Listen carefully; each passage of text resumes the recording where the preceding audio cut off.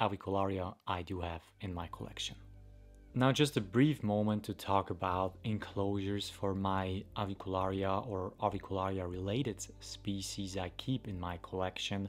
So for the most part I tend to grow uh, them in these plastic boxes. Um, we don't have these nice uh, acrylic see-through we don't have these nice acrylic see-through boxes uh, here in Europe. So if you're from the US, make sure you maybe get a one more see-through one so you can enjoy uh, the specimen more you, you actually got in your collection. Um, make sure that everything you put in this very enclosure uh, makes to yeah, join the, the upper part of the enclosure since they will web on the very top end and make their webbings with all the incorporated sticks and leaf litter they have and, and put it on, on the very ceiling of the enclosure. So that's it for now. It's just a small advice and uh, don't use any terrestrial enclosure here.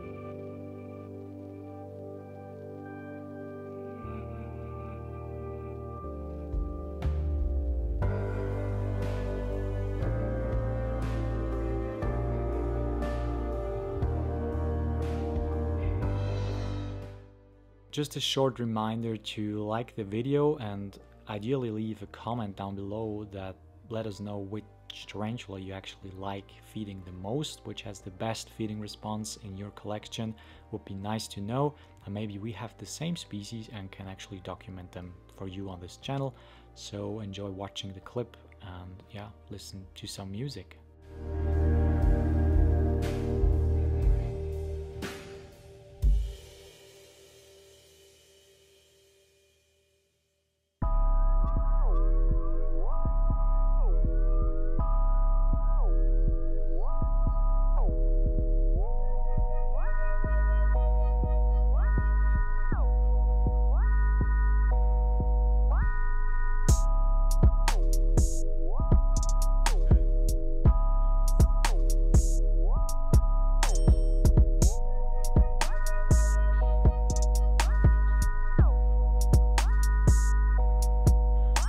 So continuing with the specimens we try to feed today is this uh, small juvenile Chromatopelma cyaneopubescens specimen, the GBB tarantula you call them in the US. They are from a small deserted peninsula in Venezuela itself, so they have quite a unique habitat. Uh, they are in a very desert-like environment. Uh, there's not a lot of rain and they do inhabit uh, these uh, different cacti there and they live actually more of a terrestrial lifestyle and are not arboreal by any means, but they do web quite a lot. So if you have any structures, you can just put them in the enclosure and they will web everything up just in like this little sequence.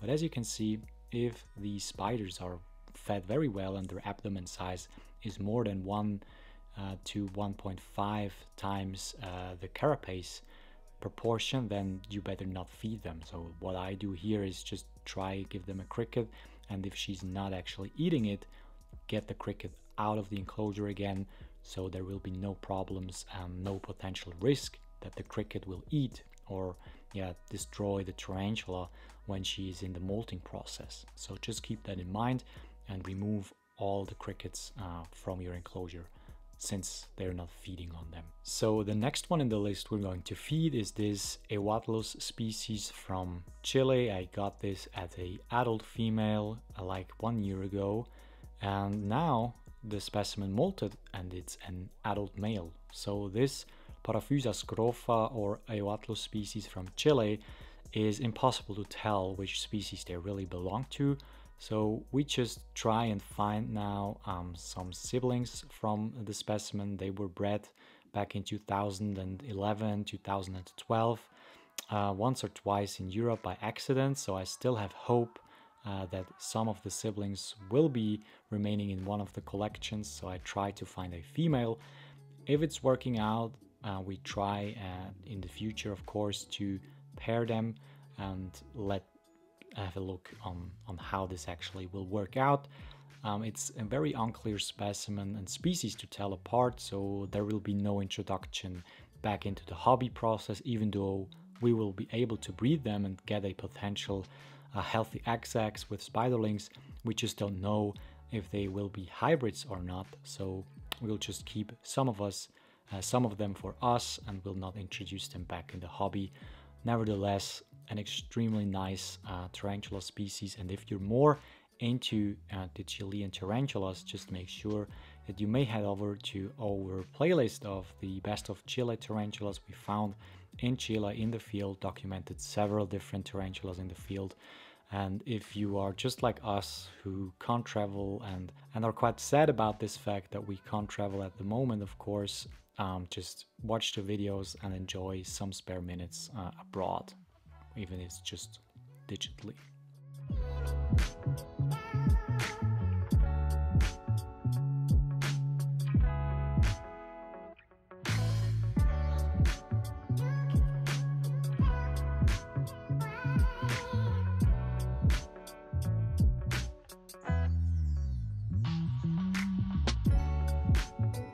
Coming up next is our adult female Lasiodora klugi. You have seen her various times on this very channel, but maybe not with a sequence like that.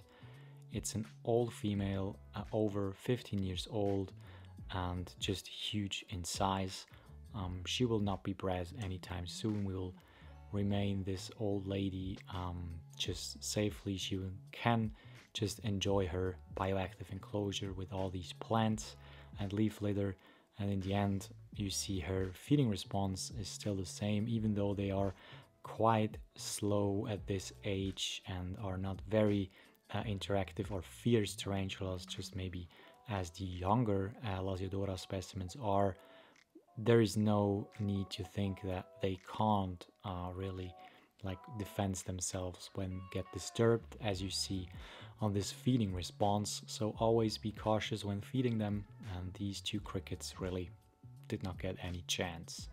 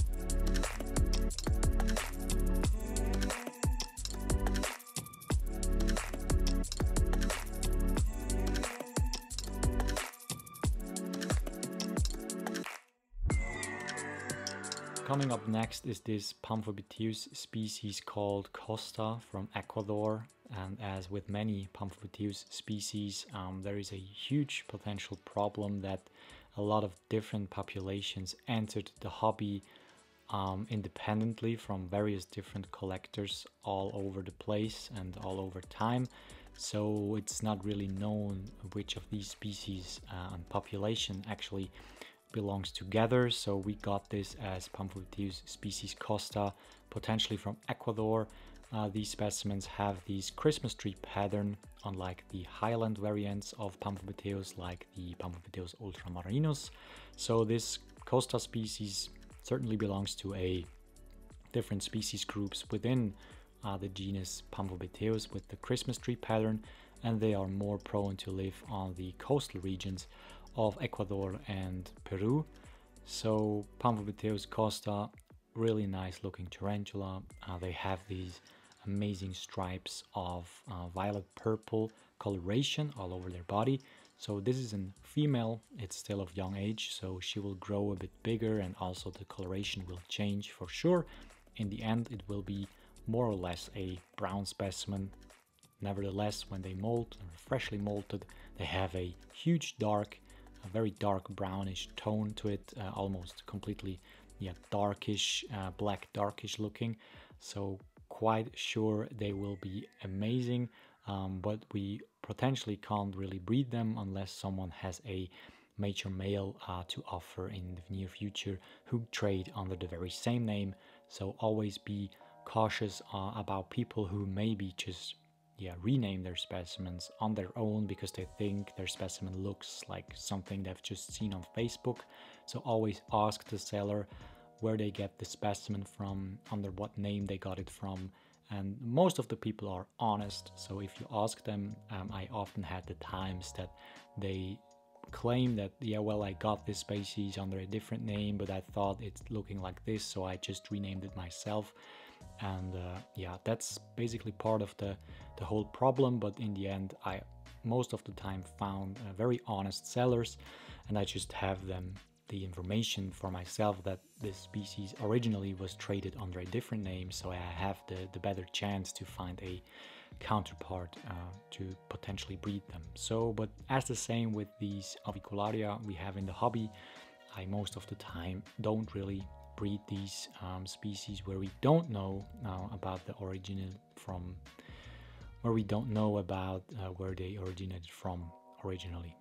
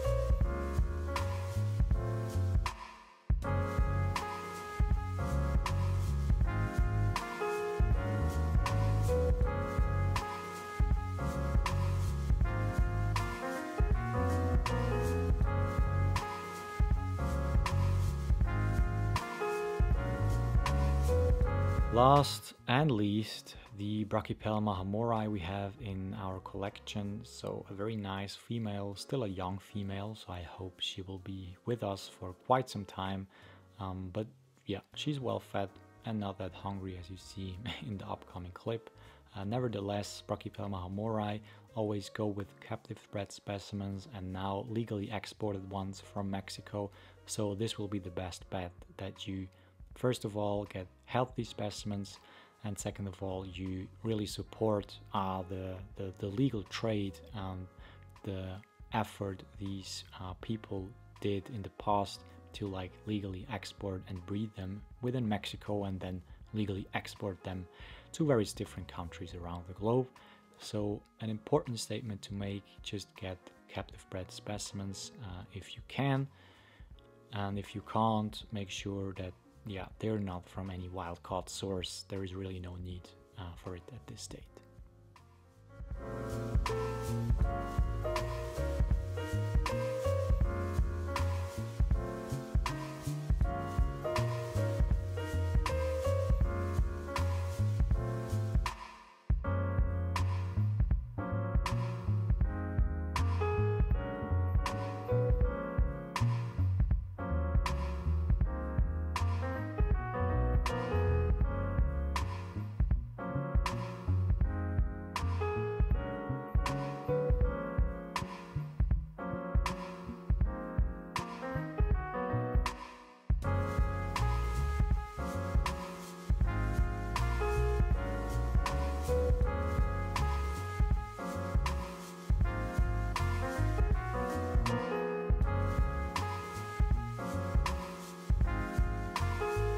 So thank you guys for watching this very different video where we showcase one of the few tarantulas we got in our collections in a more cinematographic way.